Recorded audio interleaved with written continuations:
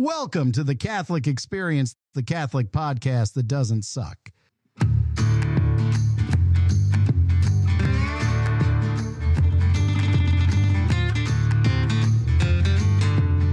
Welcome, welcome, one and all. Welcome to the Catholic Experience, the Catholic podcast that doesn't suck. I am your host, the Catholic Adventurer, and I thank you very much for joining me today. We're talking a little bit about spiritual immaturity. That's right, it's a thing. It's possible to be spiritually immature. If it's if spiritual maturity is a thing, spiritual immaturity is a thing, right? We're going to talk about it from the perspective of sacred scripture. Yes, indeed, we are. And then, or actually before that, sort of to preface the whole thing, I'm going to talk about uh, an article I found on NC Register. Basically, we're going to be talking about the culture of the Latin Mass, the, the TLM culture. Now, don't get your panties in a bunch. Don't get ready to be offended because I agree and disagree with some things in this uh, article. We're going to be talking about that. This is episode, I think, 32. Oh, shoot. I should have gotten that straight in my head before we went on the air. Recorded July 7th in the year of our Lord 2024.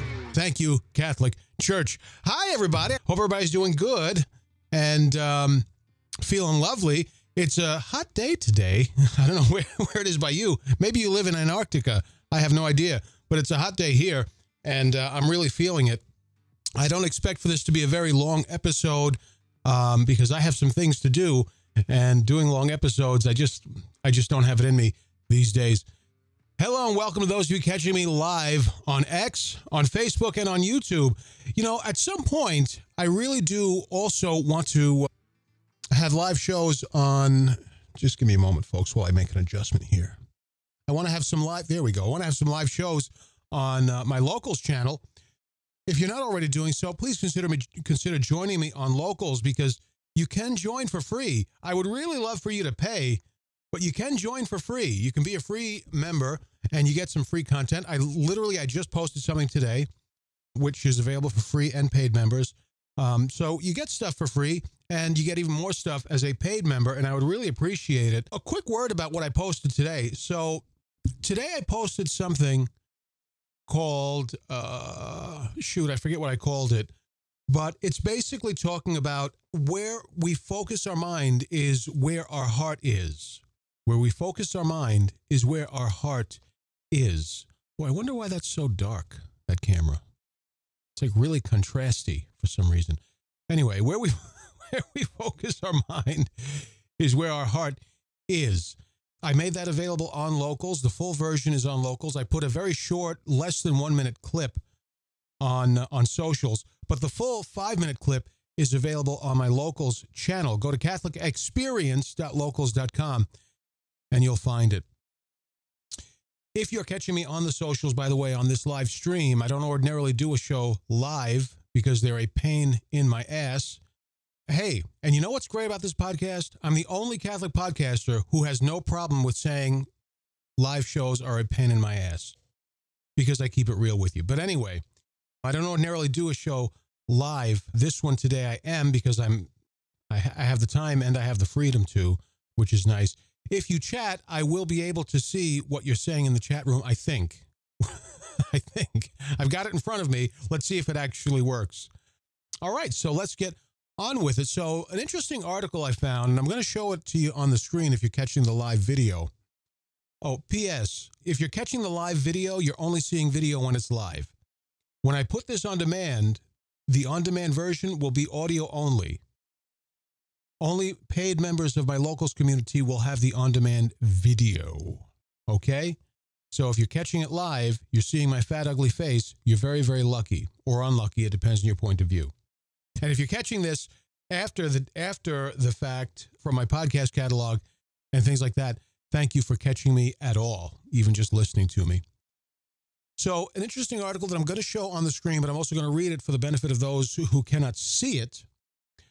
I I saw this on, on National Catholic Register, Agatha Christie Letter 2.0, the traditional Latin Mass as a cultural as well as liturgical treasure. Now, before I get into that, I do want to say a, a couple of things.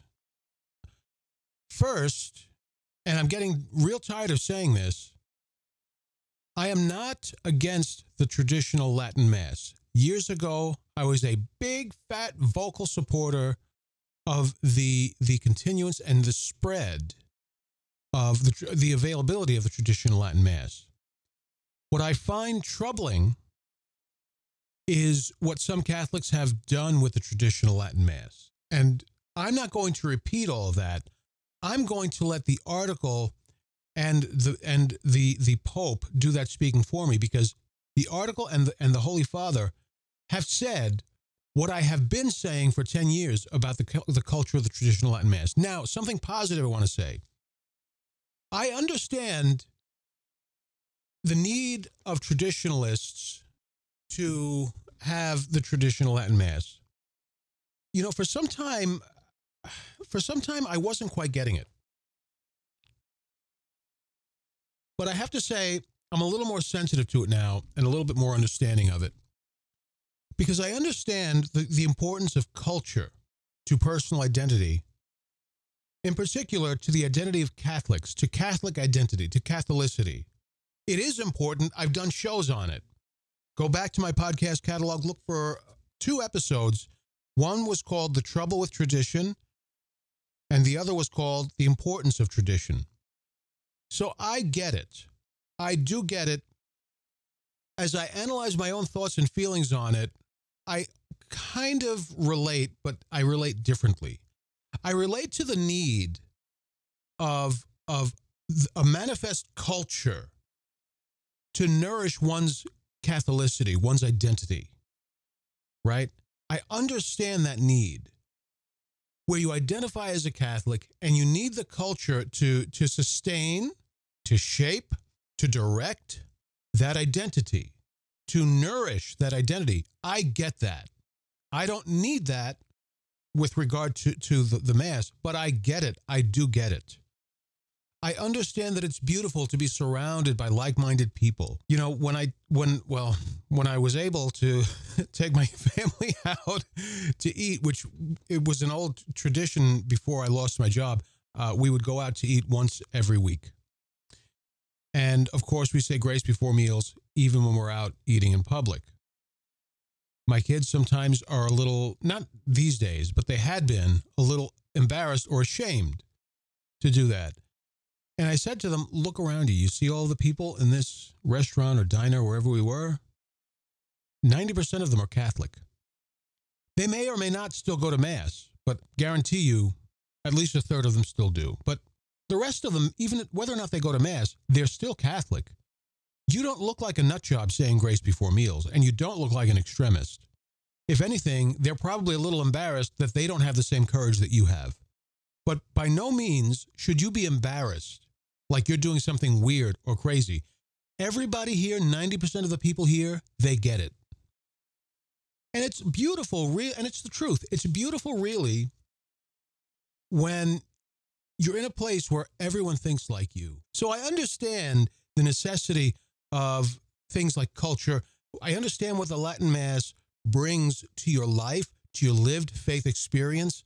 I do get it. I don't need that the way you do. That just makes us different. But it is, let me tell you, drama cam, please. It is a question of spiritual maturity. It doesn't mean you're delinquent. It doesn't mean you're crazy. It doesn't mean you're foolish but it is a question. The reason why some Catholics need the traditional Latin Mass to sustain their Catholicity, it comes down to the question of spiritual maturity, maturity in the faith. And we're going to talk about that today. So, the point I was trying to make with all that is I understand why the traditional Latin Mass is important. I am not anti-traditional Latin Mass. What I am what I have a problem with is what some Catholics have done with the traditional Latin Mass. That's what we're going to talk about today. This Agatha Christie letter 2.0, this article on National Catholic Register, struck me a little uh, a little weird. I agree with some things in it. I disagree with other things in it. Before we get to that, I want to give this one final disclaimer. I already said I'm not anti traditional Latin Mass. I already know the traditionalists are going to hang me out to dry. They're going to shout, crucify him, crucify. I already know that. It doesn't matter what I say. It really doesn't. Matter. I could be Jesus Christ saying the things that I'm saying. Traditionalists will still call for my head. They'll still say, hand me his head on a silver platter. They will still say, crucify him, crucify him. I get that. But I'm going to say what I what I'm about to say anyway. I am not against the Latin Mass. I understand why you need the Latin Mass. I understand why you value the Latin Mass. I get it. I really get it.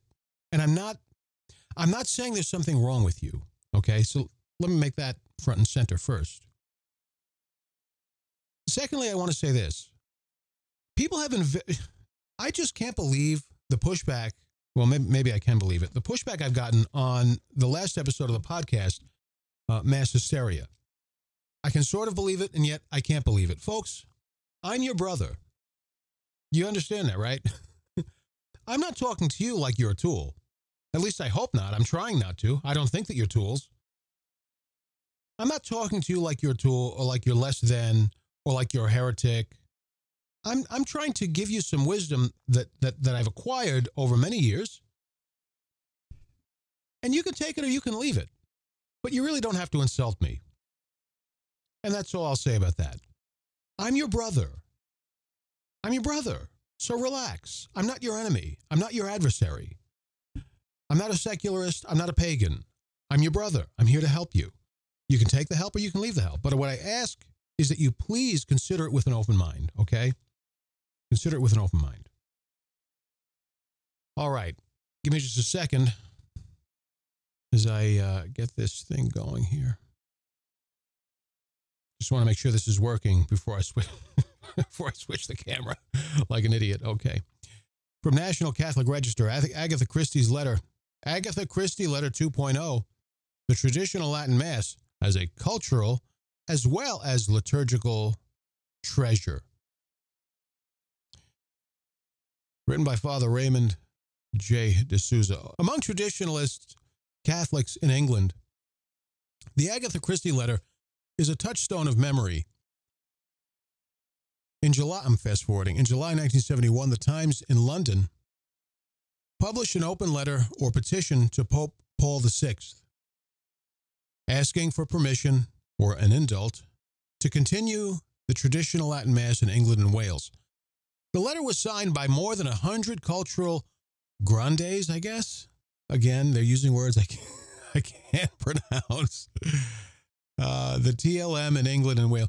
The letter was signed by more than 100 cultural important people, including novelist Agatha Christie. Now, that's pretty impressive. She was not a Catholic, but she had great esteem for Catholic traditions. Fast forward Pope Paul VI himself, a man of great culture, reviewed the signatories and was particularly struck upon seeing Christie's name. He granted the, quote, Agatha Christie indult, as it came to be known. Adherents of the traditional Latin Mass point to the letter as a recognition that, as the 1971 letter put it, the rite in, quote, the rite in question in its magnificent Latin text has also inspired priceless achievements by poets, philosophers, musicians, architects, painters, and so on. So, first thing to point out there is that the traditional Latin Mass is culturally important. Keep hitting the wrong button. I agree that it's culturally important because Western culture is Christian culture, and Christian culture, first and foremost, has been Catholic culture. I'm sorry, Protestants, but that is just true. You know, the Mass does not need things like stained glass windows, beautiful music, incense, all these things that I love and cherish. The Mass doesn't need them. They make the Mass more beautiful, but the efficacy of the Mass is in the consecration of the Eucharist, and of course the prayers surrounding and involving that. But as long as the consecration of the Eucharist is done, the Mass has the Mass does. Okay?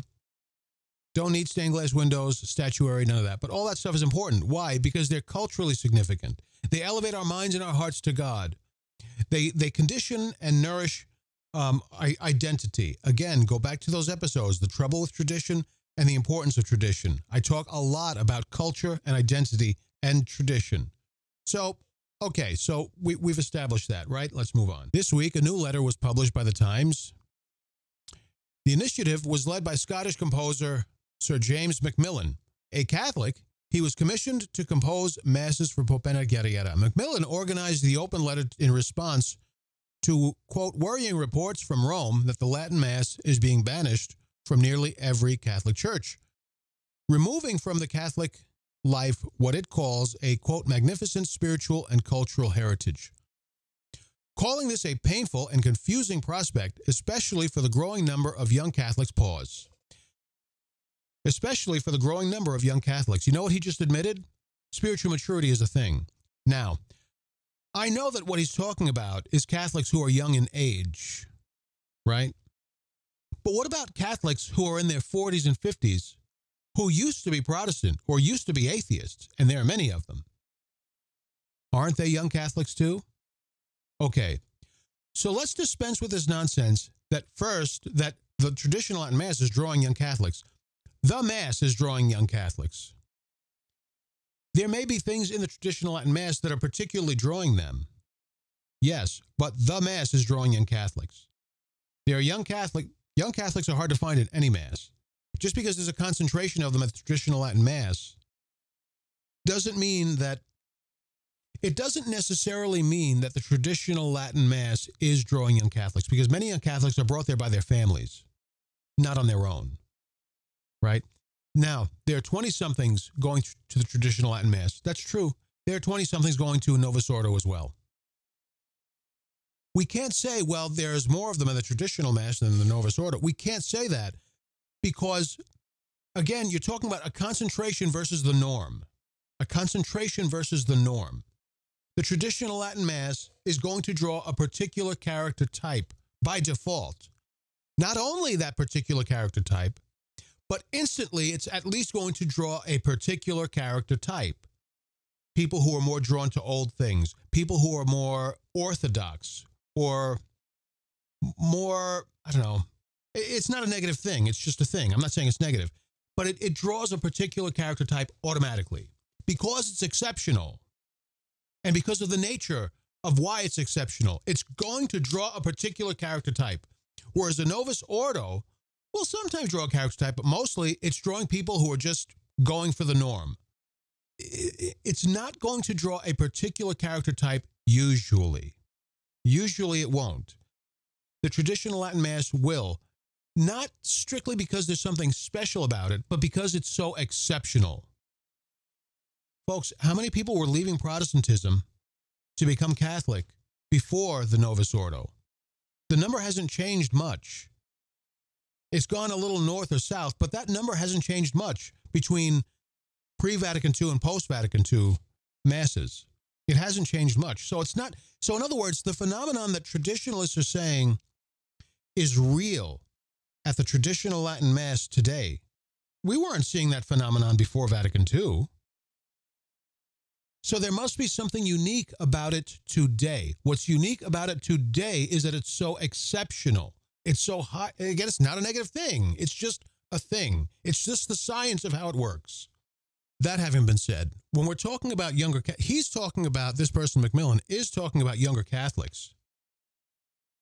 But we can't just think of younger Catholics as being Catholics who are young in age. Catholics who just got baptized into or fully uh, initiated to the church a year ago, they're young Catholics too. I don't care if they're 80 years old. They're young Catholics too. They may posture like they're, you know, the same quality as the early church fathers. They may posture that way because they go to a traditional Latin mass and they've been Catholic for a year. And so all of a sudden they're uber Catholic we're talking about that, today. That's a, that's a question of spiritual maturity. Talking about that today. Anyway, let's continue with this, the uh, article. Sorry for my frequent breakaways. Calling this a painful and confusing prospect, especially for the growing number of young Catholics whose faith has been nurtured by it, I agree that this that the traditional mass can be nurturing to less experienced or less mature Catholics. I agree. And sometimes it can be spiritually nourishing for more, more mature Catholics. I know a couple like that. Yes, I, I agree. I don't take issue with that. The letter specifically refers to the precedent of the July 1971 letter, the one that was signed by Agatha Christie. Christie. The traditional liturgy is a cathedral of text and gesture, developing as those venerable buildings did over many centuries. this, is, this is so this is so British. right? Not everyone appreciates its value, and that is fine. But to destroy it seems an unnecessary and insensitive act in a world where history can all too easily slip away forgotten. I don't want to say anything that's going to hurt people's feelings, but I really have to tell you the truth. If you want to say that's your opinion, okay, we can pretend it's my opinion and that there's no objectivity to it. We can pretend. This sounds to me like someone who is spiritually immature. And it's not a bad thing. I'm not saying this sounds like a crybaby. I am not saying that. We are all spiritually immature in some ways and very mature in others. Me too. Believe me, I'm very spiritually immature in some ways, okay? But this sounds to me like spiritual immaturity. First, I don't want to see the Latin Mass um, done away with. That's for sure. For some of the same reasons he's stating. But also because it's a valid Mass and because it's an important, it's, it's an important form of the Mass. Right?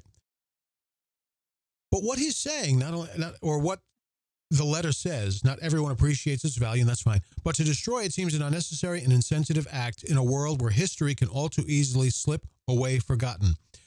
But the history, look, history is important, even history manifested in form.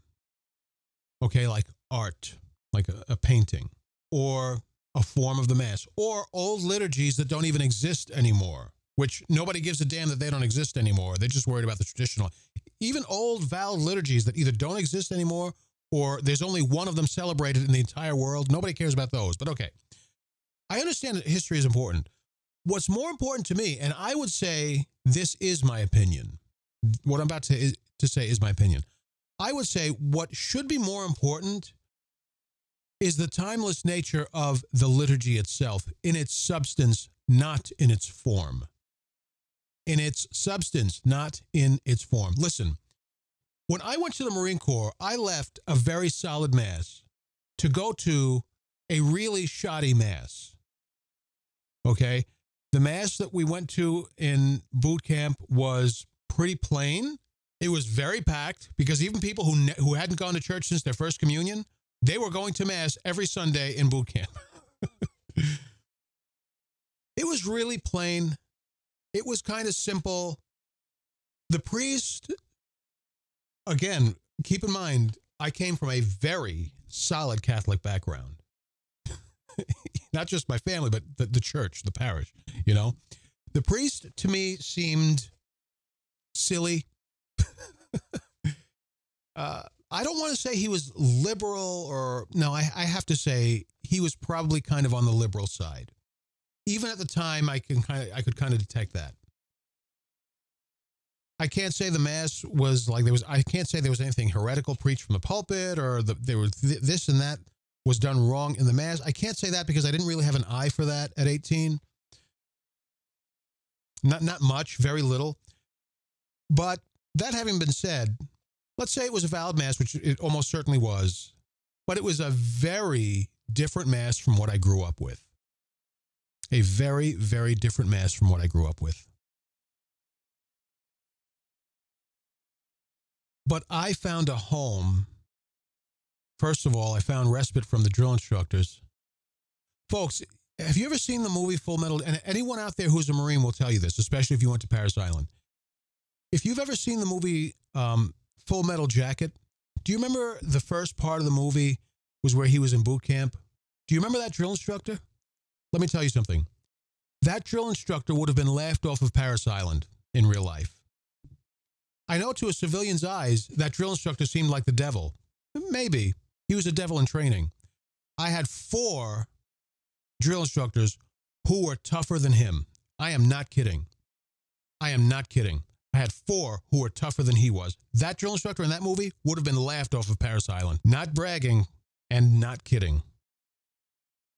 That, having been said, I found respite from the drill instructors for an hour and change. So that was good.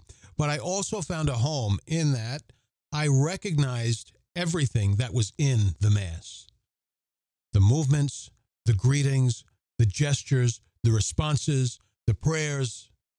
Yes, formally, because it was still it was still the same form, but it was a different. It wasn't as it. The form of the mass was not as rich as what I had come from. So formally, it was pretty different. It was in like a, a big chapel. It wasn't in the this grand church that I had grown up in. So I I almost felt like it was like in a Protestant church, even though it was a Catholic chapel.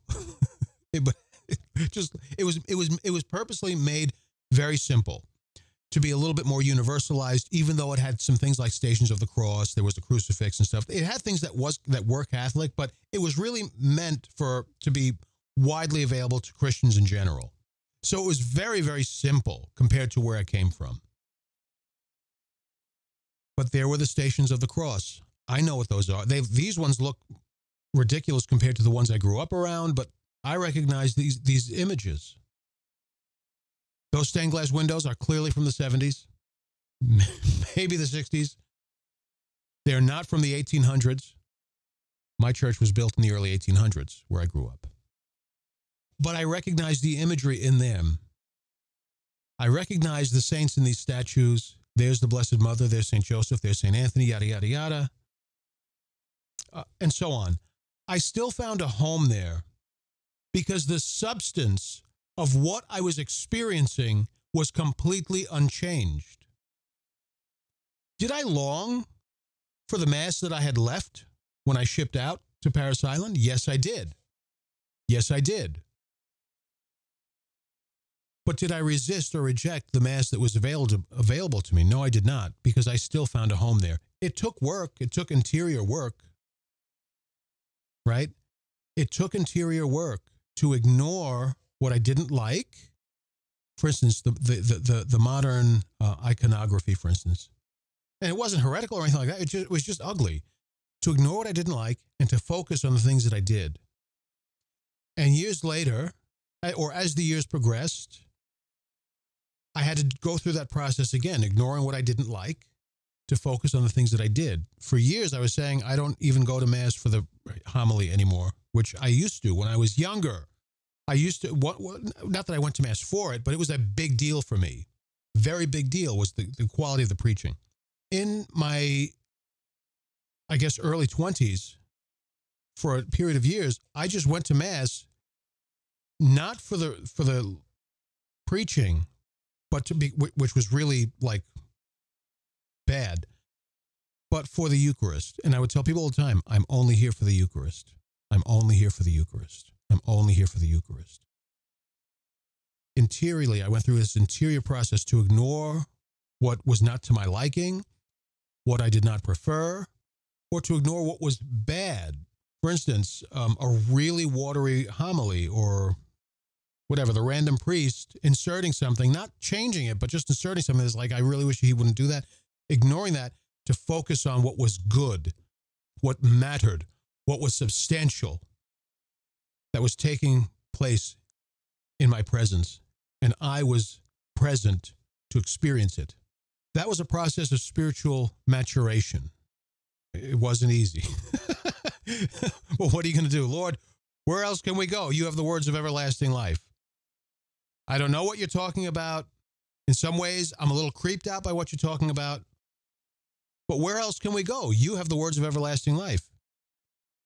I didn't like the Mass in boot camp. But where else can I go? I have to go to Mass.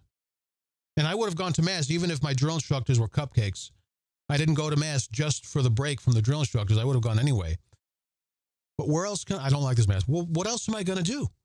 Not go to Mass? And so I was I was forced, just as Peter and the apostles were in a in a sense forced to stay with Jesus, because where else can they go? He has the words of everlasting life. I don't know what you're talking about. I don't understand it, but what am I going to do? I was forced to mature, to appreciate and love in the Mass what is substantially present and unchanging in the of the Mass. Hmm?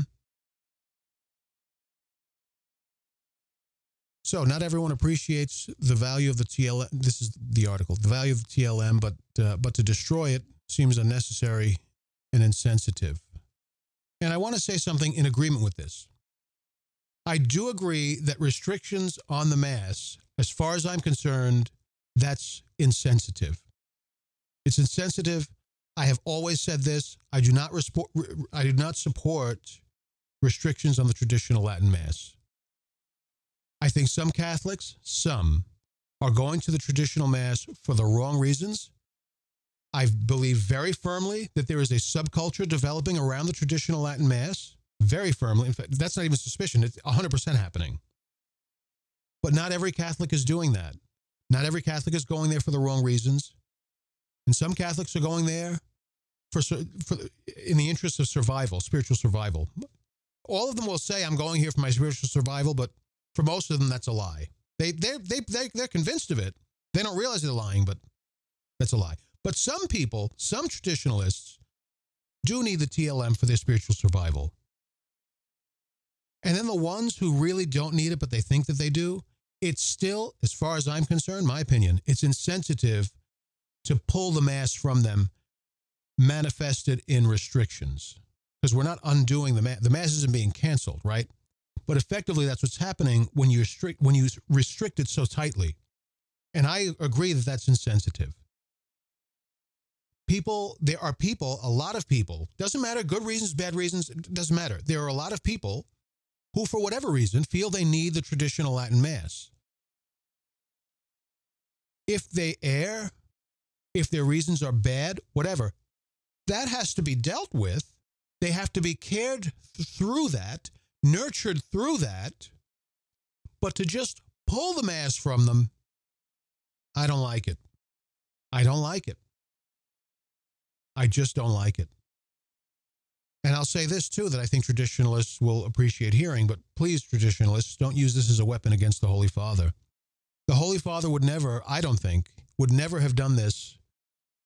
If, if so, if they, let's say there's a valid liturgy being celebrated that's really a pretty liberal liturgy. It's a valid Novus Ordo, but there are things there that are kind of abusive of the Novus Ordo or whatever. And it's just, this is the community that the more liberal Catholics go to right? I don't believe the Holy Father would restrict that Mass. Or he may restrict it light. This is my suspicion. This is only my suspicion. He may restrict it lightly or just progressively over time. I don't believe he would have brought the hammer down on them the way he brought the hammer down on traditionalists. That's just my opinion. I don't think he would have. The Holy Father has been a tough cookie across the board, but I do feel like he brings the hammer down on traditionalists, maybe because he believes traditionalists can handle it. I, I don't know. I, I really don't know. Anyway, I agree that it's insensitive. I wish the Holy, the Holy Father hadn't done that. I agree that there were reasons to do that, but there were reasons for, uh, for concern, but not reasons to do that. That I did not, not agree with, and I still don't agree with it. Let's go back to the article. This is taking much longer than it should, and I apologize. I'm going to fast forward here. I'm going to place a link to this article in this episode's description on its on demand page, and you can read it for yourself, okay? How can Rome possibly justify such cruelty? what a spot to jump in on, right? Pope Francis will kill the Latin Mass. Thompson is a defender of the traditional Latin Mass and a fierce critic of Pope Francis. How can Rome possibly just. I don't know who this guy is. I don't know what he sounds like, but can we agree that it's funny hearing those words in this voice that I'm using? Are we ready? Here we go again. How can Rome possibly justify such cruelty? I have declared Philip my high counselor. No, no, no, he didn't say that. If you know, you know. You know where that came from? Okay. One argument used by Francis and his anti traditionalist circle is that the TLM adherents, especially in America, behave like spiritually superior or elite. Elite. My friends, that is true. Now, I know plenty of traditionalists uh, who don't fit that description or that characterization, but I know many, many, many, many, many, many more who do. That is just true. My problem, though, is that it does not characterize all traditionalists. I think it characterizes, in my experience, the majority of traditionalists I have encountered, the great majority, the great majority.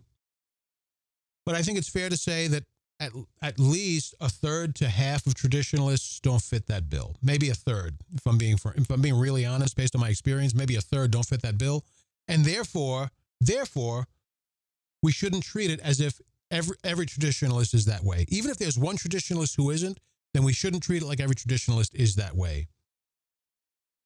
One argument used by Pope Francis in his anti-traditionalist circle is that the TLM adherents, especially in America, behave like spiritually superior elites.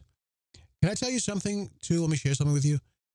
I've run into a lot of traditionalists who do fit that bill, and I, I literally want to laugh when I hear they just became Catholic last year, or two years ago, or five years ago. But you would think they are patristic era Catholics. I've been Catholic since since since Irenaeus. Irenaeus baptized me. You would think that by the way they carry on and conduct themselves. Back to the article. And there's some truth in this, he writes. The more fervent trads have adopted a form of fancy dress. For instance, the men wear beards and smoke pipes. Their wives dress in conspicuously modest long skirts. They sometimes slip into patronizing language that has alienated Catholics who would otherwise be well disposed towards them. Agree, agree, agree. Let me take this piece by piece. Well, first, uh, d- to disagree, but also agree. They've adopted a form of fancy dress. I don't think that's a problem. I think for some folks, a, a costume is fake, right? We can agree a costume is fake. For some traditionalists, they dress up and it's really a costume. They, they, they haven't matured enough to realize it, but it's really a costume. It's not who they really are. It, I don't, in my opinion, doesn't even represent a piece of who they really are. For a lot of traditionalists who dress up for mass, it's a costume, and for some, it is not. They want to go dressed up because they want to give, bring their best and yada yada yada. It's it's it's you know we're, we're meeting with the Lord, so I want to look great. Fantastic, fantastic. But for a lot of traditionalists, it's a costume, whether or not they're aware of it. But for many, it is not. Side note, related but not important, but I do have to say the conspicuously conservative, or I'm sorry, conspicuously modest long skirts. I have noticed that, and I always wonder what is that? What is that? These Catholic women are dressing more conservatively than Orthodox Jewish women. Like, what is that? It almost seems like, it almost looks like they're so conservative. Hey, I'm all for conservative dress, believe me. But it seems like some of these uh, manner of dress is so conservative. It's like you might as well be wearing like three dresses or something, like to cover everything. You might as well be wearing a hijab. Some of them are like so conspicuously conservative. Like, I always wonder what, yeah, what is that? I, I agree. I've, I've noticed that. I, again, I don't think it's a problem. People want to dress nice for mass. People want to dress cons- conspicuously, quote unquote, conspicuously, conspicuously conservative. So what? So what? Leave them be. And I, I do believe for some of them it's a costume, whether or not they are aware of it. But Still, so what? Who are they hurting? They have the best intentions. Well, I hope they have the best intentions. So, who, so what?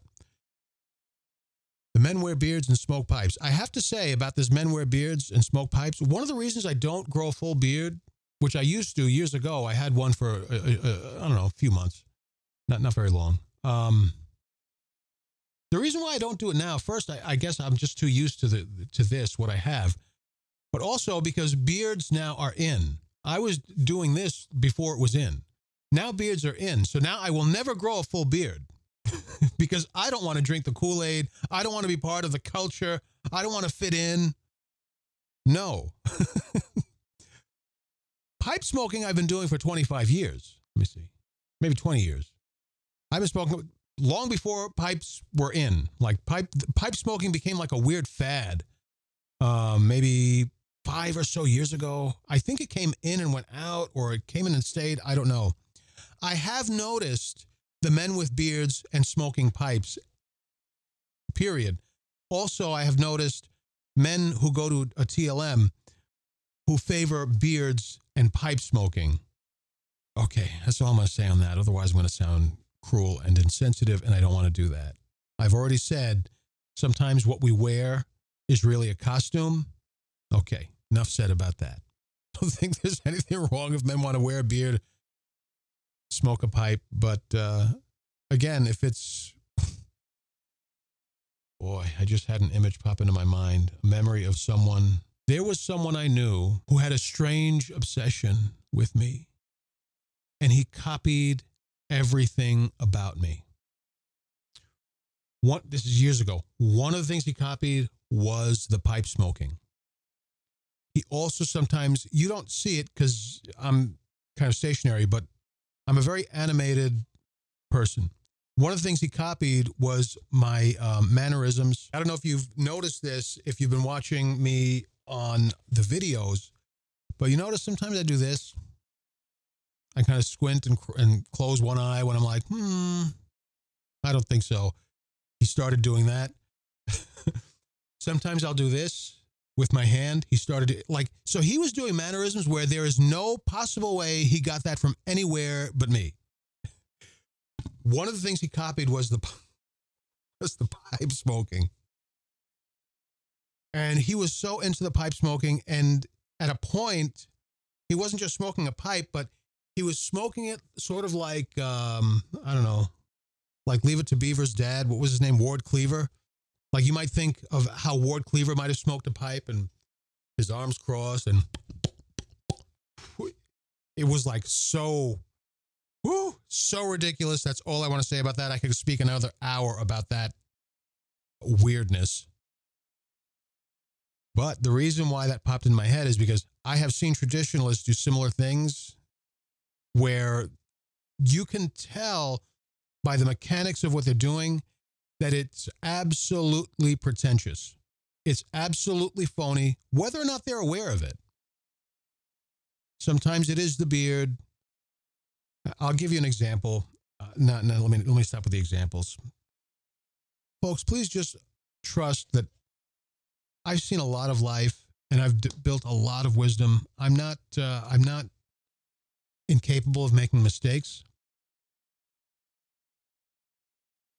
But usually I have my finger on a pulse pretty well.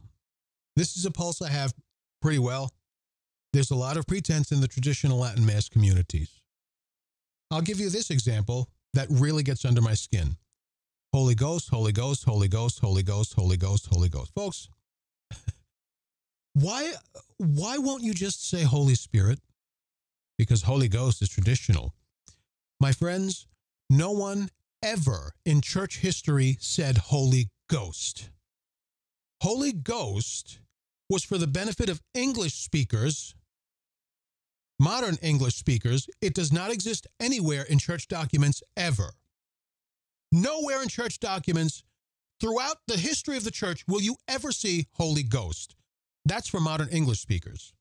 Modern English speakers say it all the time. Fulton Sheen said it, and all the priests and bishops and, and English documents written like in America might say Holy Ghost, but that's not a church phrase. Dominus vobiscum, et cum spiritu tuo. Okay, you're just saying and with your spirit. You didn't say and with your ghost, right? Spiritui sancti, right? Or sanctu, I can't remember. Anyway, that's Holy Spirit. That's not Holy Ghost. Holy Ghost to me, and I, I say this with all due respect, but it really does get under my skin. I'm not going to lie to you. I, I love you guys who, who may do this. I, I do love you. I, I do. I really, I'm serious. But this really get the Holy Ghost thing really gets under my skin because it's totally pretentious. My friends, there's nothing authentic about it. There's nothing traditional about it.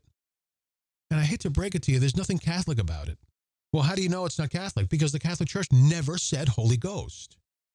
And when we're talking about Catholic Church, we're not talking about the diocese of this or the, the conference of bishops in that. Name. We're talking about what we find in sacred tradition, what is reflected in actual church documents from the Vatican, from um, you know various pontiffs. That's what we're talking about, right? They don't say Holy Spirit. I'm sorry, Holy Holy Ghost. If they do, I'm wide open to correction. Please correct me. I'm not I'm not about being right. I'm about being correct. And if I'm wrong and you correct me, I'm going to love you double. I want to be corrected when I'm wrong. I do. But there are some things that are pretentious in the traditional Latin Mass culture. But dressing nice, I, I don't know why people have to take issue with that. So they dress nice. So what? The conservative dress, so what? The beards and pipes, yeah, sometimes it's pretentious, but so what? A lot of times it's not. You know, I don't think he's taking issue with this. I'm just saying this. The, these are echoes of issues that that people have had about the traditional Latin Mass community. Thompson thinks that those who wish to restrict the TLM are not so fussed about the Mass itself. Get this. They're not so fussed about the Mass itself, but precisely the culture it creates. Say it again. Thompson thinks that those who wish to restrict the traditional Latin Mass, let me get this on the screen for you. I apologize. Who wish to restrict the traditional Latin Mass are not so focused, I'm sorry, are not so fussed about the Mass itself, but precisely the culture it creates. That's exactly right. There is some legitimacy to that view. So let me just touch on that very, very briefly. And people have been asking me this why is the Holy Father taking the Mass away from us? I don't think he can, and I don't think he will. But let's let's just go with that. But why is he taking the mass away from us? He's not taking the mass away from you. He's not respond or why does the Holy Father hate the traditional Latin Mass? Is another form of that question I've gotten on on some YouTube comments. The church, whether it's the, the Holy Father, the magisterium, your bishop, the church does not have an issue with the traditional Latin Mass. The traditional Latin Mass is the church. The church is concerned, go back to that quote. The church is concerned for this reason. Those who want to restrict the Latin Mass aren't so fussed about the Mass itself, but precisely the culture it creates. And the culture it creates is a little troubling. Let's go back to the article. And this will be the last bit of the article I talk about. When Pope, when Pope Francis restricted the traditional Latin Mass in 2021, he wrote an, an accompanying letter to bishops. It is clear that the Holy Father was worried about a certain negative culture developing.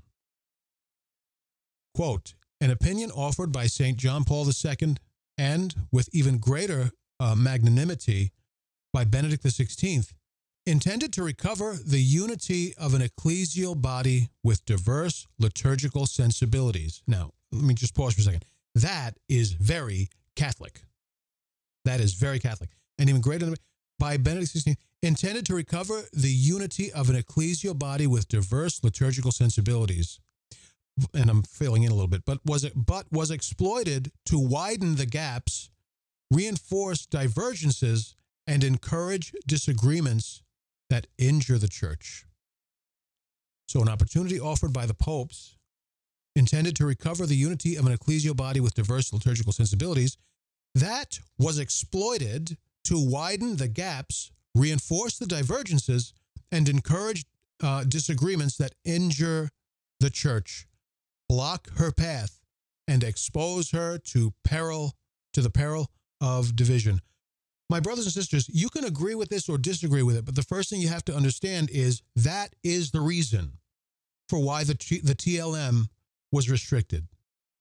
You can agree with it, disagree with it, doesn't matter for, for this stage of things. It doesn't matter if you agree with it or disagree with it. That right there is the reason that it was done. Personally, everything that was written, in and that's just a quote from the letter, but everything that was written in that letter, I actually agree with because I've seen And Pope Francis is late to the game because I was seeing that 20 years ago. I was warning bishops, ordinaries of dioceses, 20 years ago, or inside of the past 20 years, I was warning them about that very thing. So, that, as far as I'm concerned, Pope Francis is late to the game. Uh, maybe not 20 years, maybe not 20 years, but maybe 10 or 15 years. Maybe 10 or 15 years. I saw these things happening. So, again, whether you agree or disagree, I'm, I'm, I'm not here to argue with you. I'm just saying that is the reason why the mass was restricted. I'm, it's so pathetic. I'm the most pathetic podcaster in podcasting history. There's like nobody chatting in the, which is all right. I, it's one less thing for me to have to monitor. I don't care that nobody's chatting, but it's just really funny because I'm putting I don't take it personal. It's literally funny to me that I'm doing all of this work. it's like nobody chatting. I think people are watching. And if they're not, that's okay too. I'm, you know, I'm I'm just doing what God built me to do, you know. But as I look at this, like as a producer, I'm thinking that is so funny. We have to write a script about that. that would make a really funny sketch or something. Nobody in the chat room. It's kind of pathetic, and that's why it's so funny. Okay. So I'm going to leave a link to this article in this episode's um, description everywhere you're finding it on demand, whether you find it on iTunes or whatever. Now let's talk a little bit about spiritual maturity. I can't believe uh, this has been going on almost an hour now. Wow. Damn. I'm going to take a short break. Okay. But I'm going to play something for you during that break. I'm going to take a quick breather and uh, maybe cool off a little bit, turn on a fan or something. This is the video I posted um, earlier. It's about five minutes. I'm talking in it, I'm talking about what's in your treasury, what's in your spiritual treasure, treasury. That's going to be about, five minutes. I'm going to roll that for you. And uh, then I'll be back and we'll talk about spiritual maturity. How's that sound? Sound like a plan? All right, excellent, outstanding. Well, here we go. We're on camera, stupid. By chance, I encountered, uh, I ran into three priests and overheard their conversations uh, separately. Two of them were talking about saints. One of them was talking about something he had read. It sounded like in the Office of Readings. You know what they weren't talking about? The trial and conviction of canonical crimes of Archbishop Vigano. But a lot of people are talking about this in the Catholic sphere and in, and in Catholic media. What comes to mind is something that I say a lot, and I try very hard to keep this um, in my discipline. What has your mind has your attention, or you can reverse that. What has your attention has your mind. And what has your mind has your heart. And that brings me to something Jesus Christ said in the Gospels where your heart is, there is your treasure. Where your heart is, there is your treasure. What has your attention has your mind. What has your mind has your heart. And where your heart is, there is your treasure. What's your treasury? What's in your treasury? Oftentimes, a hint of what is in your treasury comes out of your mouth. It's what you talk about. It's what you focus on. Because again, in the words of Jesus, out of the overflow of a man's heart, his mouth speaks. What are the things that you're focused on, paying attention to? What are the things that you're talking about? What has your attention, has your mind, what has your mind, has your heart. And where your heart is, there is your treasure. What's in the treasury of those three priests, obviously, is holiness, holy things. And it's important for us to ask ourselves that what's in my treasury? What am I paying attention to? Am I paying attention to holy things? Am I focused on holy things? Whether it's the saints or your day to day life, you know, putting in a good day, serving your family and or serving others, even serving strangers and so on. Those are holy things. Does prayer have your attention? Thoughts of God and thoughts of, of eternal matters. Is that what has your attention? What has your attention has your mind. What has your mind has your heart. Where your heart is, there is your treasure. So, what's in your treasury? Here's a little homework assignment for you, and I offer this from experience. Ask God to reveal your treasury to you. Ask Him what's in there. Lord, what is in my treasury?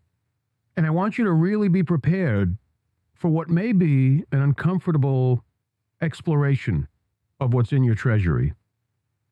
Because often we feel like what's in our treasury is millions of dollars, right? I'm very holy, I'm very learned, I'm very virtuous, whatever it is. Sometimes we can feel, oftentimes, we can feel like what's in our treasury is millions of dollars. But the Lord may reveal to you that what's in there is a few pennies. For almost every living human being, unless they're very, very holy, genuinely holy, for almost every living human being, what they think they have in their treasury is monopoly money. It's not real money. The real currency in their treasury Probably going to be a few pennies, maybe a nickel, maybe a quarter or two, right? What's in your treasury?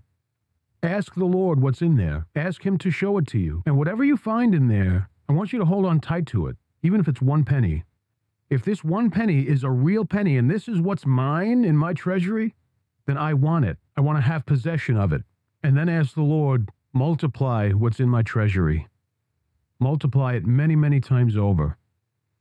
turn this penny into millions of real dollars. Holiness, virtue, righteousness, truth. What you're going to find in your treasury will be considerably less than what you thought was there. If you're humble enough and you ask God in righteousness and in justice, I really want to know what's in there. Show me what's in there. Where your heart is, there is your treasure. What's in your heart? What is your treasure really? Because usually what we think is in our treasure up here, it's not really what's in our treasure. It's not really what's in our heart. It might be in our heads. We might come to believe it, but often it's not going to be what's in our heart. Maybe fragments of it will be, maybe not. Ask the Lord to reveal your treasury to you, to show you what's in there, and then ask Him to multiply it. Ask Him to multiply it. What has your attention has your mind. What has your mind has your heart. Where your heart is, there is your treasure. That's all I have for you. Thank you for listening. God bless you. God be with you all. Please say Hail Mary for me and for my family. Bye bye.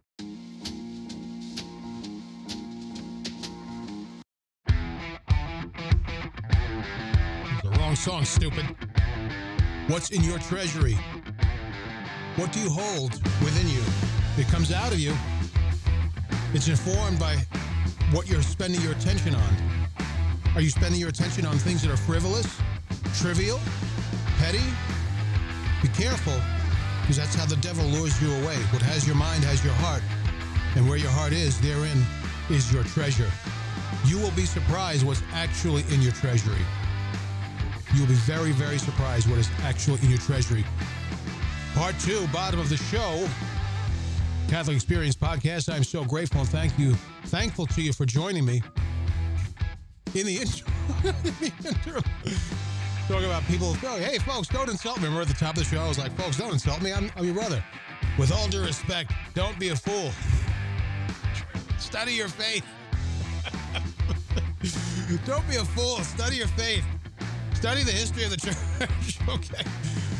Okay, man. I'll, I'll do that. All right, let's play that music out. We're talking about spiritual maturity and immaturity today. Again, thank you for joining me. If you're not already doing so, please follow me on X at For the Queen BVM. Follow me on Facebook at Catholic Adventurer. And please consider joining me on Locals. I'm trying so hard to get 50 members. It's unbelievable. It's like, is there really not 50 people who want to follow every, everything that I'm doing? Come on, man. It can't be that bad. CatholicExperience.locals.com. As a free member, you get a little bit more content. As a paid member, you get even more free content. Not free content, but you get even, even more content as a paid member for five bucks a month. CatholicExperience.locals.com. Are you starting to see that I'm running out of steam here? I'm a little bit running, running out of gas. This I can't believe I've been on, uh, on this for an, an hour now, but the numbers don't lie. Okay, spiritual maturity and spiritual immaturity. Let's get into it. Hit it. People have been insulted because there are a couple of clips where I either say it in the clip or I say it in the description. I talk about spiritual maturity. One of the more prominent examples I can give you is a video where I talk about, well, I, uh, prominent example one is a video where I talk about spiritual maturity, um, about people who need a mass to be very rich, very full, very lavish. I say, that's great, but as you grow, I'm paraphrasing, as you grow in spiritual maturity, you won't need all those trappings. People got offended by that. There was a social media post I dropped uh, a few days ago where I said something similar that as you grow in spiritual maturity, all you are going to see is Jesus Christ in the Mass. You won't need the sensual experience of the Mass because you are going to be laser focused on the substance and power of the liturgy. And I said, I, I wasn't angry when I said it. I said it very kindly, meekly, I think. People got offended. My friends, spiritual immaturity is real. The fathers have said so. I tried digging up some quotes. I flipped through some books where I thought I had seen this. I tried Googling it, couldn't find it. But I promise you, it's a real thing. Even the fathers have said so. Okay? Spiritual immaturity is real. Let me give you an example that all of you are going to relate to. There were times when you've gone to confession where after you left that confessional, you felt like a load was lifted from your shoulders, right? But at a point, didn't that stop happening? At a point, don't you feel pretty much the same coming out of the confessional as you felt going in? However, that was that you felt. Where there's no real change, there's no real feeling that, oh, a great weight has been lifted from your shoulders. That's because you're more spiritually mature. Because weight doesn't have an act, I'm sorry, sin doesn't have an actual weight. When you feel free from sin after you go to confession, that's a grace that God gives to people who need it. The, the feeling, not the everyone gets the grace from from the, the sacrament, but the feeling that you've been freed, that is a special grace for people who need it. You you eventually get to a, a spiritual maturity, a level of spiritual maturity where you never receive that grace again. That's, folks, if you're a regular penitent, you know this to be true. And for most of you watching this, 99% of you are regular penitents. You're in the box regularly, once a week, once a month, once every couple months, whatever. But you're in there several times a year, right? You know this to be true. Same thing with prayer. You get to a point where you don't really, let me broaden it. In the faith experience, you get to a point where you do not experience God. Here's what I mean. You don't sense him in your prayer. You don't feel a, you don't feel the same closeness to him or maybe you do, but you have to try harder to get it, you know? There's a point in the spiritual journey where your experience of God changes. It changes. At a point, it seems to disappear. And maybe it comes back a little bit. Maybe it comes back the same. Maybe it doesn't come back quite the same, but it comes back and then it seems to diminish again. And maybe it comes back again. And then maybe it, it seems erased again. And maybe this time longer. Your experience of God changes. This is the process of, of spiritual maturation, maturing spiritually. Some saints, which is horrifying to me, some saints get to a point where they never experience God again. That's rather exceptional. For instance, um, well, I, I don't want to go too far with it, but Mother Teresa, for instance, was in a spiritual dryness aridity for 50 years. I don't I, I won't go so far as to say she never experienced God again, but her experience was dramatically different. And from what I can tell, it stayed that way, which which is horrifying to me.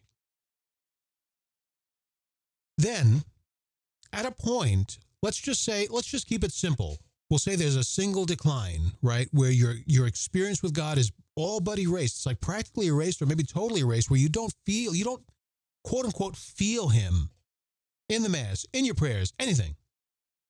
But you persist, you still go to mass, you still pray, and so on. And then as you grow in that maturity and that through that phase of your mature maturation, you begin to experience God not like you did before, but more deeply, more deeply, in ways that require a different kind of focus, a different level of effort. But now you're experiencing him, experiencing him mysteriously in ways you never did before. And even if it only lasts 30 seconds, that 30 seconds gets you through a week. You know, spiritual maturity. It's a real thing. Let me take you th- through some scripture, okay? 1 Corinthians chapter 1.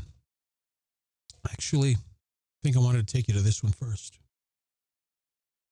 Yes, I'm going to take you to the first letter of John, or the first book of John, chapter 2, verse 12.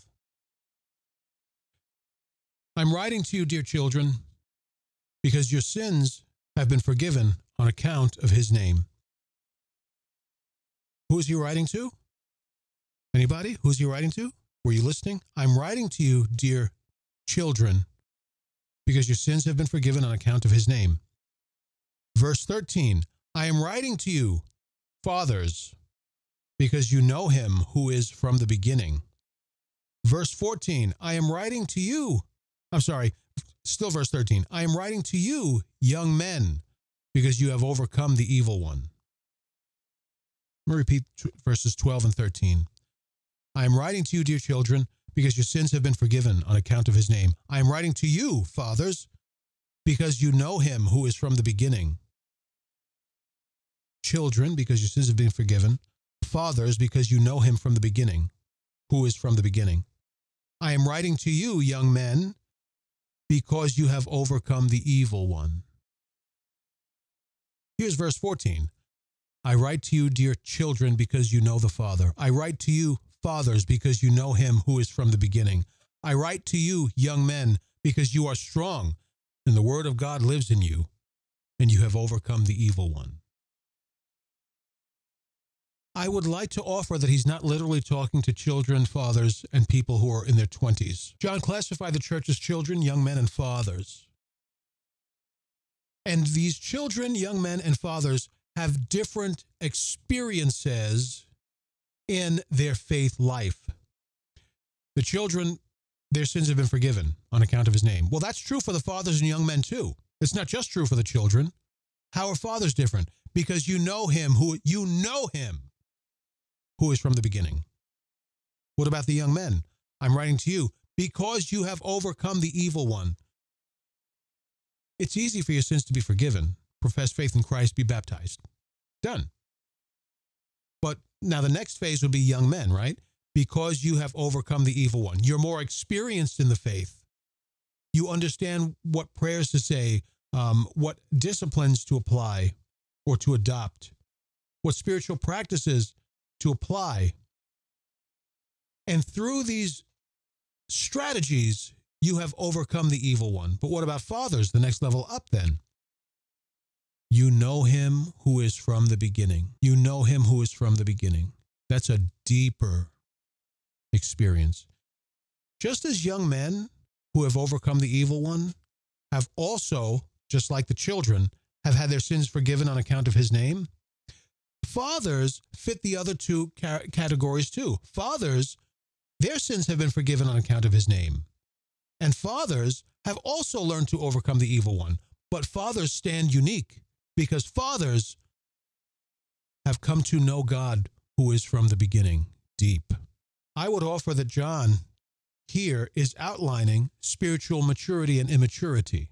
Those who are very advanced or very experienced in the faith have a deeper understanding, a wisdom that comes from experience and experiences.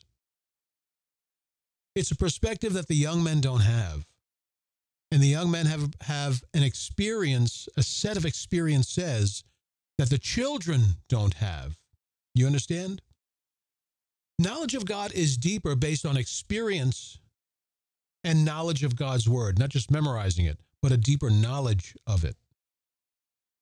And that deeper knowledge comes with experience, effort, and above all, grace. I've said in the past, you cannot interpret scripture if you are spiritually unfit. The fathers have said this to the max. And I I can say this from my own experience, but also because I've seen the fathers say it several times, okay? You cannot interpret scripture if you are spiritually unfit. Try as you might, it'll never come because, first and foremost, it requires a grace.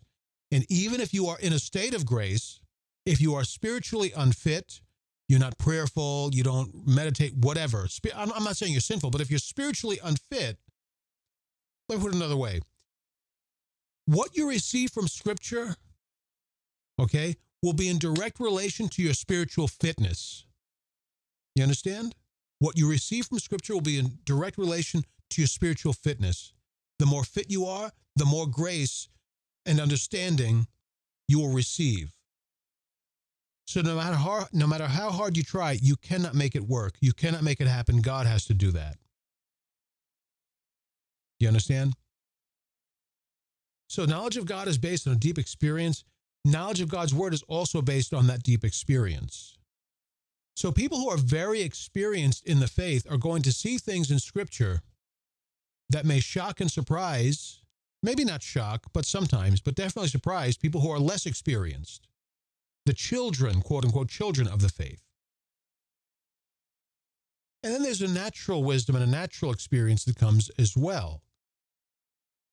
Um, I'm making this up. Yeah, you know, I went to confession and I don't know, I just didn't feel like I I I just didn't leave the confessional feeling forgiven. Like in the past I had felt that. Now I know I'm forgiven, but I didn't feel that weight lift off me. You say, say you say that to someone like me or most of you. We've experienced that and we can tell you, yes, that happens. That's normal. Right? That's a natural experience. That's a natural wisdom that comes from a natural experience or a natural set of or a set of natural experiences. But then there's also something deeper that as you progress, there is more that the Holy Spirit gives you. And it often comes at a high price. for some people, the Holy Spirit gives it for free. Um, or maybe it's a down pay, or maybe it's a loan that they that the people who receive it have to pay for later. I don't know, but I've seen it. I've seen it. It's ex- it's very exceptional, but I have seen it. I've seen people um, come away with wisdom way beyond their years, way beyond their experience in the faith. Especially, especially I've seen it in the folks. I have encountered young young people, eleven to seventeen, let's say, yes, as young as eleven, who talk like saints, capital S saints. Even as even, not many as young as 11 but some as young as 11 um where the things they say and it's not pretentious it's not let me try and sound like a saint it's totally who they are it's it's like Carlo Acutis or Acutis you look at some of the things he says you'd think you're reading some of the church fathers right i have seen young people like that where it's just wisdom way beyond their years, way beyond their experience. It does happen. It's exceptional. Those, those people are going to be saints. 100%.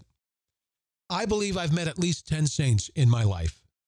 At least 10 people who are going to be canonized saints. I firmly believe at least 10 I've met. almost all of them young people. Not all of them, but almost all of them. Anyway, off topic. So, John is telling us here that there is a progression in faith experience in what you put into it and what you get out of it and what you are granted because of it. Fathers not just have had their sins forgiven, not only have they learned to overcome the evil one, but they've reached a certain depth where they know God who is from the beginning. We see from that scripture by itself there is such a thing as spiritual maturity. My friends, there are people who are evangelizing other Catholics who became Catholic 10 minutes ago.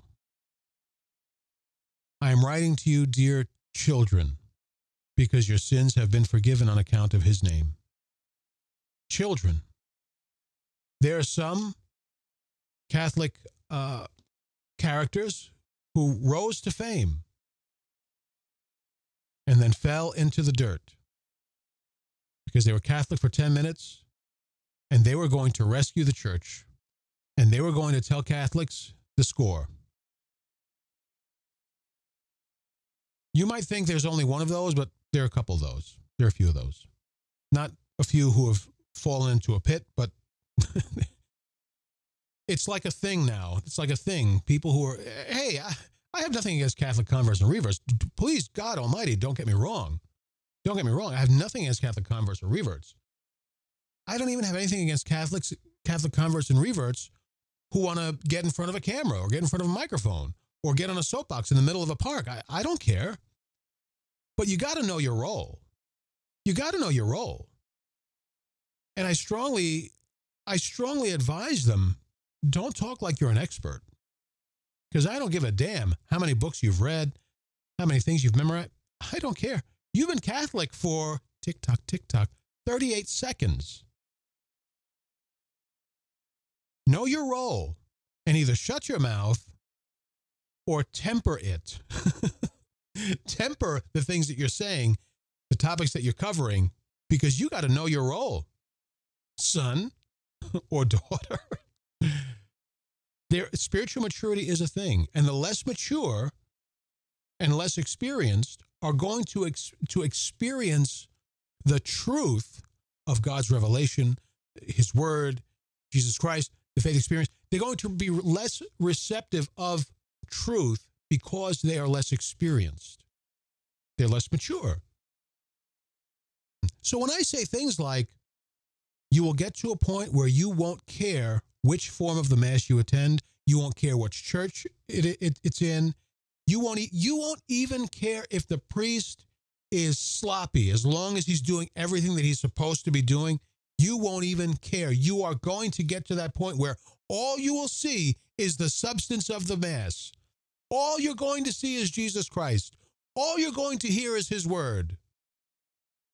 You will get to that point, but not if you resist it. Can you believe across social media there was resistance to that? Folks, it's just a thing. It's not my opinion, it's a real thing. what did somebody say to me earlier? Not to me, but it was a comment. I forget where. I think it might have been on YouTube. They said, What's this absurdity?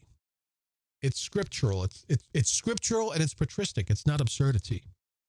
I'm going to tell you a secret. There are Catholics who are so set in their ways, they can give a damn what material you present to correct them with. They don't care. I have brought Fulton Sheen, material by Fulton Sheen, to correct errant attitudes. It didn't matter that it was Fulton Sheen, they rejected it. St. Irenaeus, didn't matter, they rejected it. Scripture doesn't matter. Folks, this is the state of the church that we're in today. And I'm going to say something about that in closing if I remember, but I'm not going to get to that yet. Now, let's go to Corinthians, 1 Corinthians, verse 1. Brothers, I could not talk to you as spiritual people, but as fleshy people, as infants in Christ. Do you need this explained, my friends? At this point, I don't think you need that explained, right? After we just went through the book of, or the first letter of John. Brothers and sisters, I could, in the past, I could not talk to you as spiritual people, but as fleshly people, as infants in Christ. So now we're using the metaphor of a young child, a baby, right? I fed you milk, not solid food, because you were unable to take solid food. Indeed, you are still not quite able even now, for you are still of the flesh. While there is jealousy and rivalry among you, sound familiar? While there is jealousy and rivalry among you, are you not of the flesh and behaving in an ordinary human way? Now, he is not talking to pagans. He's talking to Christians in Corinth. For you are still of the flesh. So he is saying that though you are Christian, you are limited in some way. You're undeveloped in some way, right? I could not talk to you as spiritual people, people who are advanced in spirituality, who understand the depths, who have the perspective, right?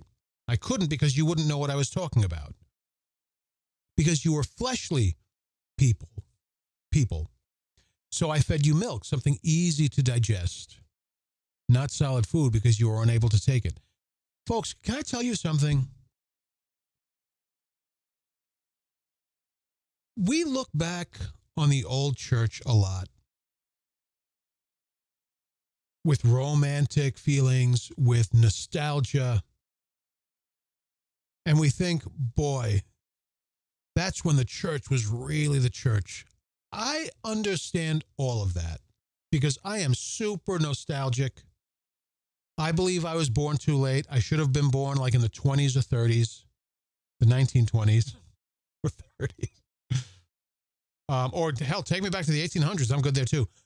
But I'm super nostalgic. I want to live in a Bing Crosby movie. I want to be Leave It to Beaver, all of that stuff. Eh, I'm, I'm really, I'm not poking fun. I, I mean this very, very seriously. I'm not poking fun at anybody. I see the value of that old church, the church of the, you know, 18 and early 1900s, you know? I do, I really do. But I have to tell you, you'd be surprised how much milk Catholics were being fed because they weren't ready for spiritual food in the 18 and 1900s. You'd be surprised how much milk.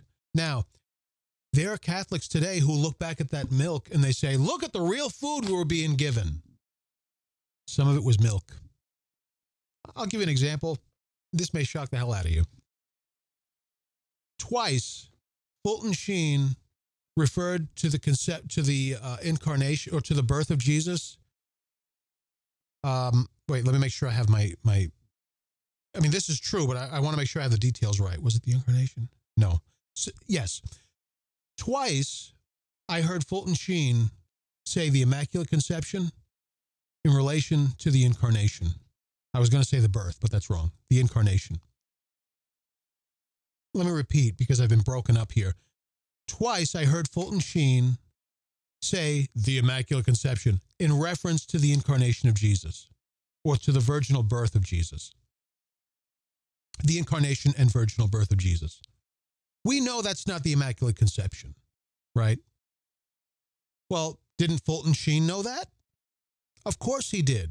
Well, why did he why did he say the Immaculate Conception in reference to Jesus? Because that's how people understood it.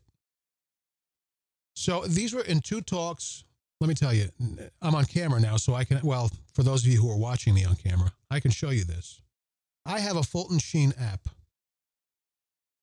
Oh, shoot. It's in a Catholic folder.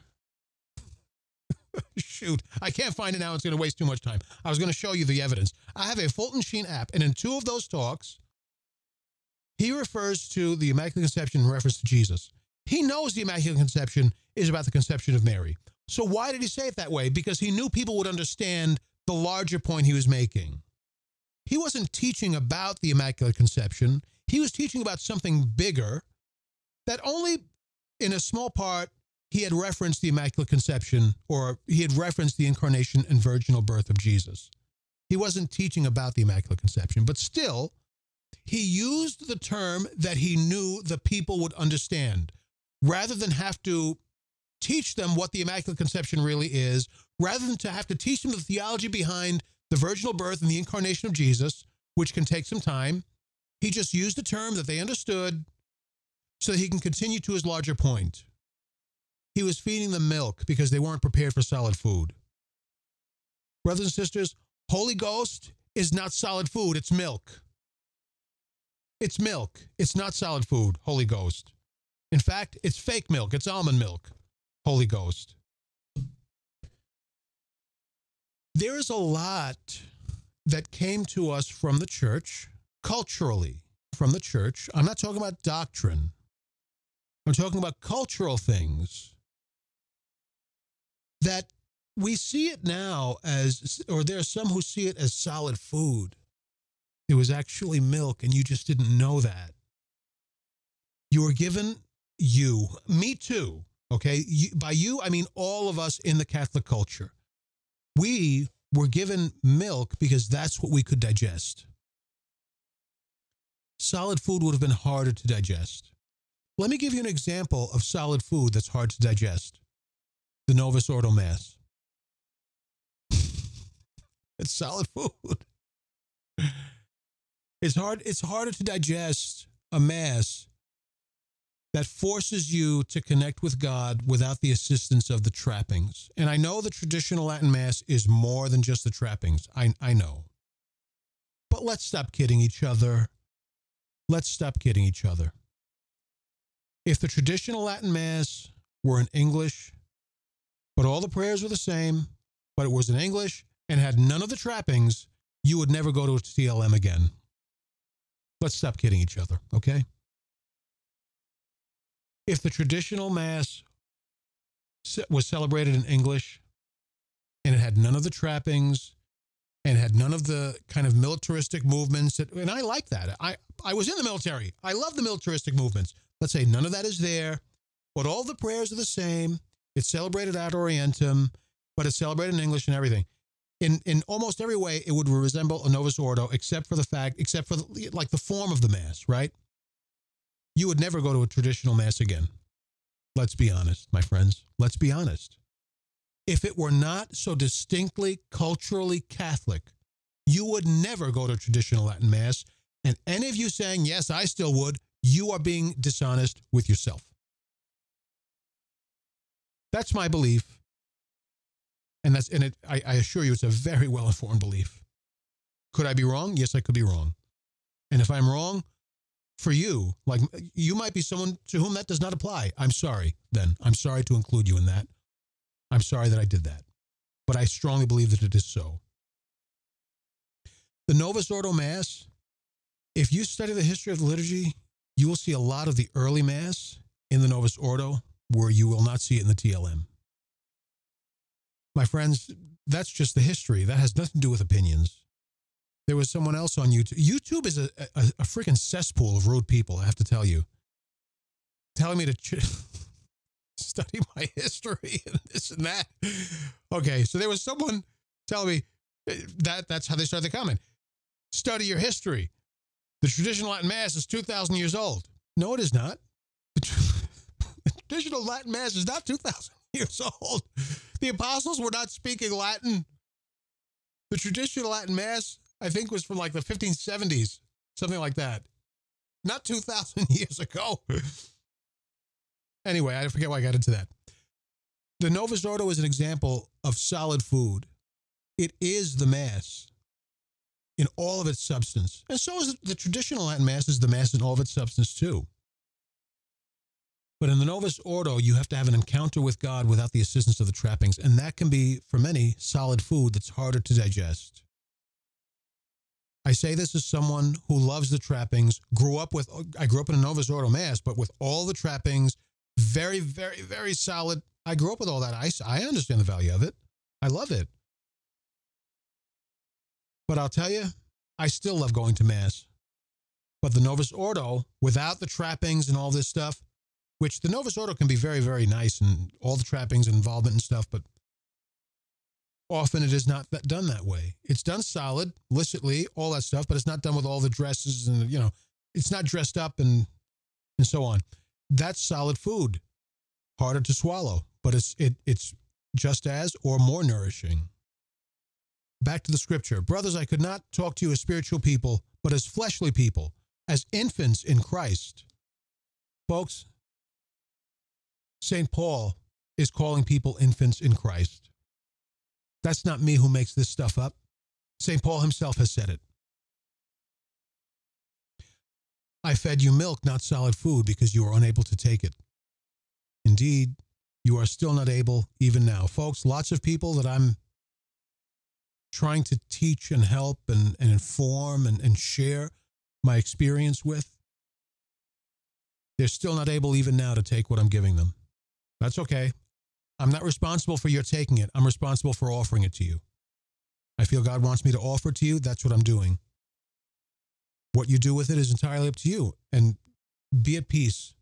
Go in peace and be at peace. And I love you. I truly do. You think I, you think I do this out of love of self? I'm doing this because I love you. I truly do. I'm like fanatic about you. Honestly, I, I swear this is the truth. I love my brothers and sisters in Christ. I'm fanatic about you. And when I say I believe most of you are going to be saints, whether canonized or not, I believe that. I really believe that. That's not marketing speak. What am I getting out of this? Nothing. I get nothing out of this. Nothing. This only costs me. I do this because I love you. I'm fanatic about you. And I truly believe I'm talking to saints. Maybe not 100% of you, but a lot of you. I truly believe I'm talking to saints. So, whatever you do with what I'm offering you, that's on you. And I'm at peace with it. And I beg you, please, you be at peace. But a lot of what I'm trying to share, people are not able to digest even now. There are people who are infants in Christ. They're not even young men, they're infants in Christ. But they see themselves as coming directly from the patristic era of the church's history.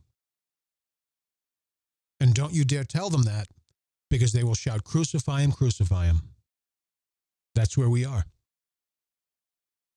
Verse 3 For you are still of the flesh, while there is jealousy and rivalry among you. My brothers and sisters, what we are seeing this, what I have called mass hysteria, and it's not just about the traditional Latin Mass or the Novus Ordo, it's it manifests that way, but it's it's in other places in the Catholic culture. Rivalry, jealousy. You are still of the flesh. Why? Because in the modern church culture, people are diseased by secularism. They have turned the church into a political party.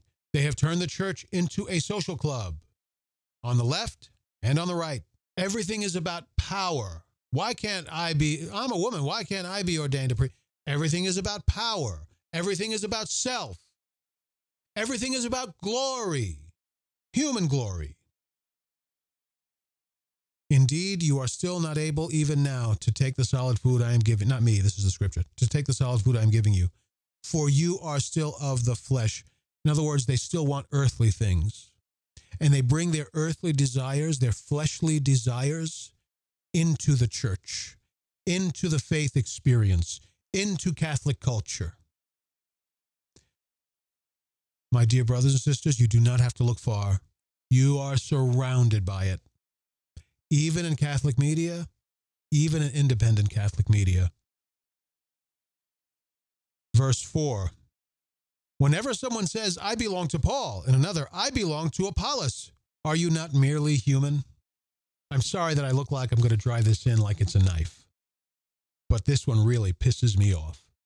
I'm just going to read, not the phrase, not the, the verse, but I'm going to reword it. Whenever someone says, I belong to Father Altman, I belong to Father so and so. I belong to Bishop Strickland, or I belong to Bishop Archbishop Vigano. Are you not merely human? This is all over the church. I belong to this one. I belong to that one. They may not say I belong, but you know, I'm aligned with this one. I'm aligned with that one. This one is my guy. This one is my guy. Are you not merely human? Oh, but when when I say that, they call for my head. That's okay. But this is an attitude that is human. It's a fleshly temperament, or disposition rather.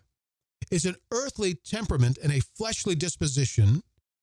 It is not spiritual. It is not Catholic. St. Paul has said so, and in a certain sort of way, St. John had said so. Spiritual maturity is a real thing.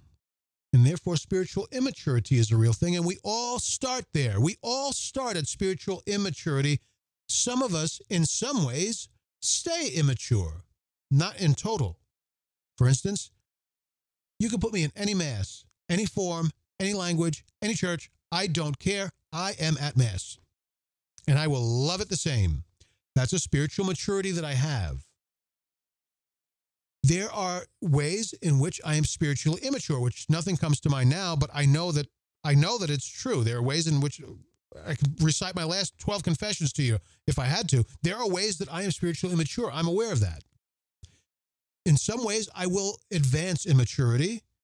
And in other ways, there will be sticking points where I never quite reach spiritual maturity by the time I'm dead. I don't know what those things will be, only God knows. What I'm saying is spiritual maturity and immaturity is a real thing. And it happens, it, it manifests in segments, not just the whole, not just the whole. Have you ever known someone who is very spiritual, very spiritually mature, and you could tell by their demeanor and and the things that they say, and you could tell. But there was one thing that you were like, damn, I didn't expect that person to behave that way. Right? For instance, um, there was this one priest I knew. That priest, there is no cause for his sainthood. There may never be. But if that priest is not a saint, is did not like go to heaven like 10 minutes after he died, I would be shocked because that priest had all the markings of a saint. You would not expect that priest to go, You dumb son of a bitch. But he did. not to not to me, but on the road while he was driving. He lost his temper and he shouted, "You dumb son of a bitch!" And you would never know that that forget the words that he used. You would never know that that outburst would have come from him. It's a spiritual immaturity. Well, there's an immaturity I have because I can see myself doing that. Point I'm trying to make is spiritual maturity is a thing. It is a whole, but it's also fragmented. Everyone is going to have spiritual maturity stuck to them until they are dead in, in one of the minor ways, one of the smaller manifestations or granular manifestations of it. It is a whole, but it's also granular. We are in an era of the church where God is calling us and in some ways forcing us into a spiritual maturity that many of us don't want. Go back to an episode that I keep referencing, um, an episode in my catalog called uh, Tradition and the Desert. In that episode, I talk about how the Jews were brought through the desert for 40 years, first as a punishment, but also to strengthen them, to prepare them to take the land that the Lord was giving to them. And I explain why we are going through a similar period in the church today a period of purging and punishment, but also a period that strengthens us in preparation for what's coming next, likely something good. In that episode, I also explained that many people, instead of traversing the desert, they're stopping, they're setting up a big, beautiful tent to shade them from the sun, and they're laying out in the breeze. And they're like, no, I'm not, I'm done traversing the desert. I'm cool right here. You're going to miss the boat, my friends. The temptation is great to shield ourselves from the sun the temptation is great to stop at every oasis or to stop at the next oasis and to just stay there forever. Temptation is great. God wants us to be tempted, but He doesn't want us to fall to that to those temptations. So much of what we can experience in the depths of the Catholic faith today, it's easy to go to Mass once a week, go to confession once a year. The basics are easy. But to get deeper than the basics, it's a lot of food where in the past we were used to milk. Maybe I'll do an after show about that. I'll, maybe I'll get some examples together of ways in which I think individuals are, are offered food where we used to be offered milk, and ways in which the church was giving us milk before, but is giving us food now, food that's harder to digest. Maybe I'll do an after show about that.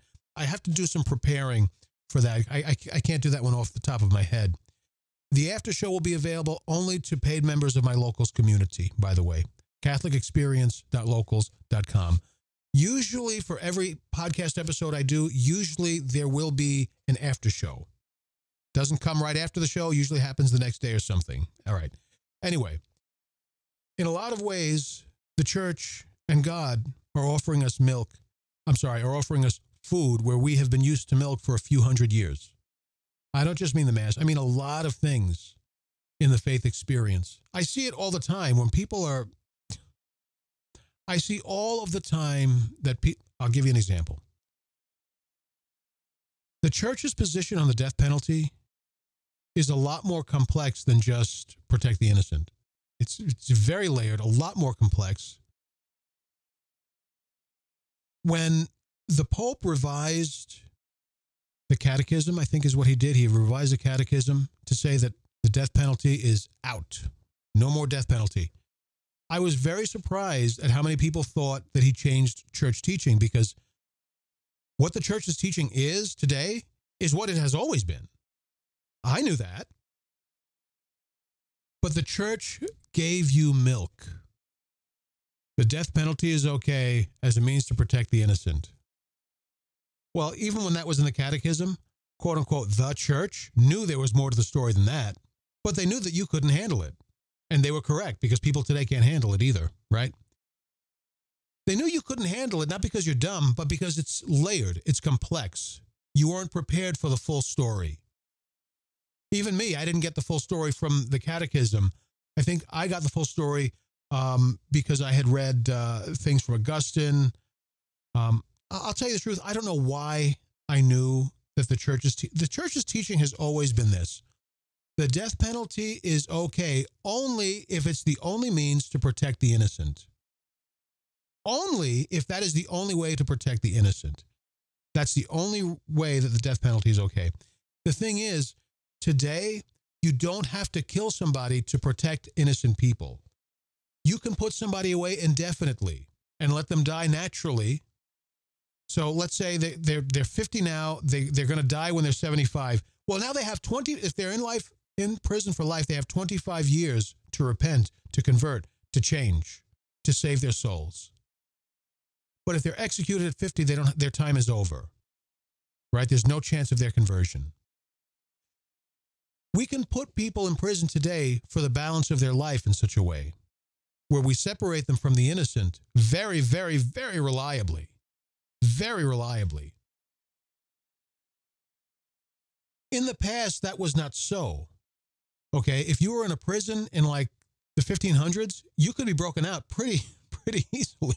People were. During the Inquisition, there were people, there were criminals who broke out of their prisons to sneak into the Inquisition prisons because the Inquisition prisons were more lenient. Did you know this? This was happening all, all the time. so today, it's possible to protect the innocent just by incarcerating someone with the modern options we have available to us today that we didn't have 50 years ago, 100 years ago, 500 years ago. So the Catholic teaching, it's okay to the death penalty is okay if it is the only means of protecting the innocent. That has not changed. What has changed is now we can protect the innocent without having to kill the guilty. That is what is what's changed. That has always been church teaching or the church's understanding of the death penalty, at least since Augustine. I know for sure Augustine has said that. At least since St. Augustine, that has been church, the church mind on the death penalty. But it's layered, it's complicated. It's more complicated than is it okay to kill the guilty? If someone's guilty. It's more complicated than that. In the past, there was no need to get more to get deeper into the t- into the subject. The church at the local level, or even I guess the church in general, manifested in the catechism. The church was giving you milk because you weren't prepared to digest the solid food. Now the church is giving the people solid food and people are still rejecting it. There are a lot of things like that going on today where the church appears to be changing things for the worst when actually the church is giving you solid food. But this isn't what the church was in 1955, and I'm not saying that in any way to ridicule anybody. That was that was America's greatest era was 55, and it was a great era in the church. This is not what the church was doing in 1955. I know, sweetheart, but the church was giving you milk in 1955 or 19 whatever before Vatican II. The church was giving you milk. Now the church is giving you food. But people don't understand that, which is understandable. The only reason I understand some of this stuff is because I've been reading and studying for 30 years, L- literally. And I'm not bragging. I, am just ve- very saturated in this stuff church history, church thought, etc. I am very saturated in this stuff. So I understand it. It's not because I'm brilliant, it's because I'm very saturated in it. Most people, understandably, are not. But when the Holy Father says, here's some solid food, listen, just take it and trust it. It's solid food. If the magisterium says, here's some solid food, just take it and eat it. It's solid food. You can, you can trust it. But it's not, it's not what the church was giving us, whatever, 100 years ago, because that was milk. This is solid food. Just take it and eat it. When you have learned to just, when you have learned to do that, you have grown in spiritual maturity. As long as we refuse the solid food, we will remain spiritual infants. Don't throw the stone at me. St. Paul was the one who said that. Man, this has been a really long show. What is this now? Almost two hours. Damn. But you know what that means? That means I have to review and edit a two hour show. You think the fun is over. I still I still have work to do on this. Man, oh man. Thank you for joining me. And this is a special one too because I was doing this one live. Hello to those you catching me on Facebook, YouTube, and everywhere else, and especially those you catching me on Twitter. I think my biggest fans are on Twitter because that's the uh, the, the platform I'm most active on. You can follow me on Twitter at For the Queen BVM. Please, please, please, I'm begging you. Join me on Locals. CatholicExperience.locals.com. All other relevant and important and special and cute and cuddly links I'm going to put in the description down below. This has been the Catholic Experience. I've been your host, the Catholic Adventurer. Somebody give me a Lord have mercy, baby. Thank you for joining me. God bless you. God be with you all. See you next time on a rebound. God be with you all. Bye bye.